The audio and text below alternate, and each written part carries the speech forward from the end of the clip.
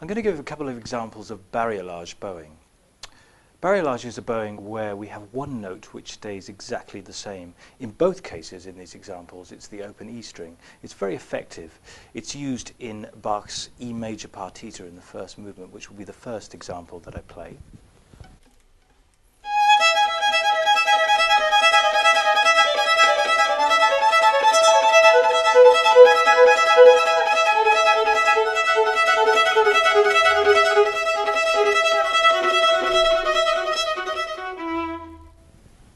And the other example is in Fritz Kreisler's Preludium and Allegro.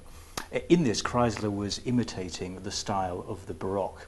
And we have a, a, wonderful little cadenza towards the end of the piece, which sounds like this, again using the open E as the static note.